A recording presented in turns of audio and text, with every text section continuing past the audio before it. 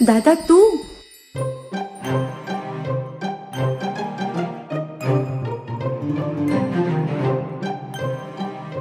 काही नात्यांची चव कधीच बदलत नसते. बल्लाळेश्वर मिसळ.